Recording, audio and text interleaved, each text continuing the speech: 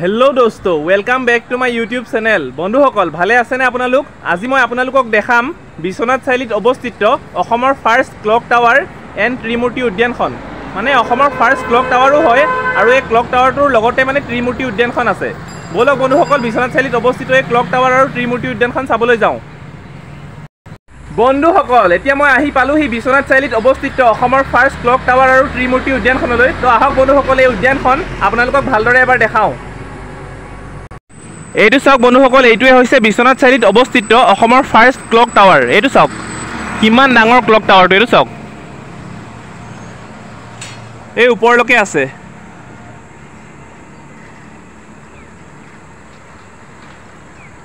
এইটো অসমৰ first clock tower হয়। আৰু কি ডাঙৰ এইটো চাওক না আৰু কি সুন্দৰকৈ বনাইছে মানে ক্লক টাৱাৰটো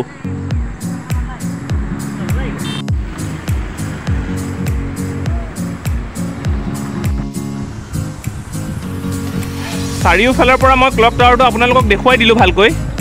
চাই লওক এবাৰ আকৌ। আৰু এই ক্লক টাৱাৰটোৰ কিনাৰতে আছে ত্ৰিমূৰ্তি উদ্যানখন। এইখনেই হ'ল ত্ৰিমূৰ্তি উদ্যান এইখন চাওক। ইয়াত তিনিজন মহান লোকৰ মূৰ্তি মানে স্থাপন কৰা আছে সেইটো কাৰণে ইয়াক ত্ৰিমূৰ্তি উদ্যান বুলি কয় চাওক।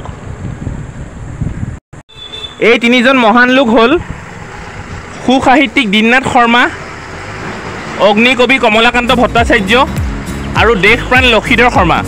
এই তিনিজন লোকৰ মূৰ্তি ইয়াত স্থাপন কৰা আছে। সেইটো কাৰণে ইয়াক ত্ৰিমূৰ্তি উদ্যান বুলি কয়। এই ত্ৰিমূৰ্তি উদ্যানখন বিশ্বনাথ চাৰিআলিত অৱস্থিত।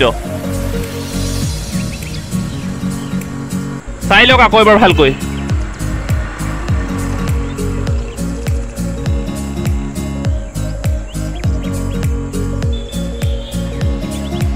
এই ক্লক টাৱাৰটোৰ একেবাৰে কিনাৰতে আছে উদ্যানখন। বন্ধুসকল আজি মই আপোনালোকক বিশ্বনাথ চাৰিআলিত অৱস্থিত অসমৰ ফাৰ্ষ্ট ক্লক টাৱাৰ আৰু ত্ৰিমূৰ্তি উদ্যানখন দেখুৱালোঁ। আৰু যদি মোৰ ভিডিঅ'টো ভাল লাগিল তেনেহ'লে লাইক কৰিব আৰু চেনেলটো ছাবস্ক্ৰাইব কৰি দিব। আৰু নেক্সট মই এটা সুন্দৰ টপিকৰ সৈতে সোনকালে আহি আছোঁ। এতিয়ালৈ বাই বাই বন্ধুসকল।